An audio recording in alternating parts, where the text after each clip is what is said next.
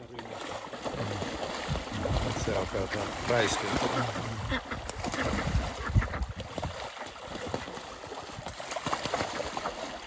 Sitten ne sukeltaa tolleen. Ne, ne menee ihan täysin uhkaluksiin. Joo.